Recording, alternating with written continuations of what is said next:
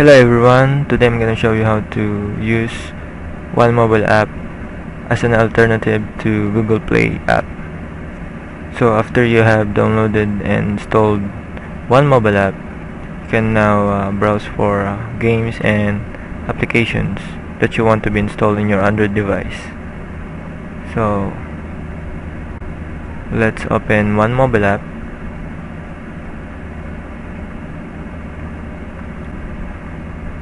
let's cancel first.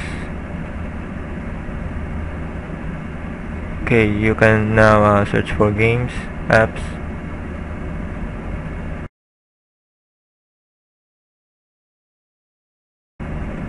Okay let's say games. Let's search for something like android top hits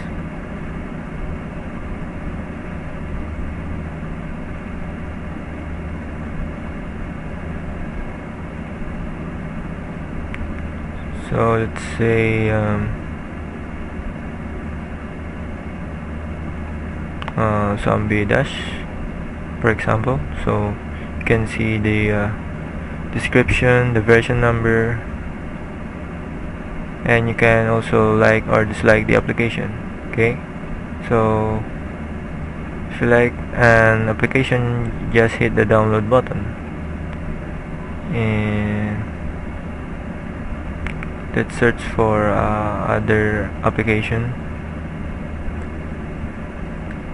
And it also pops up for some uh, keywords.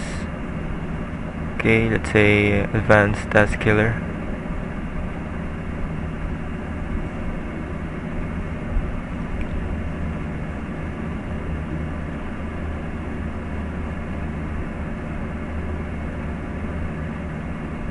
okay so let's choose advanced task killer.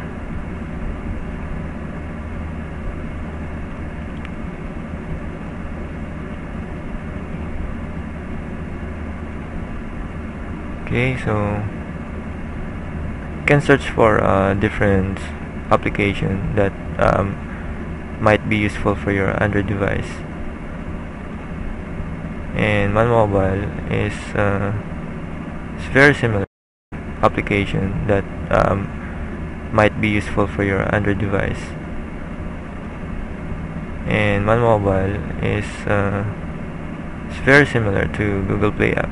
So it's a very uh, useful alternative to Google Play. So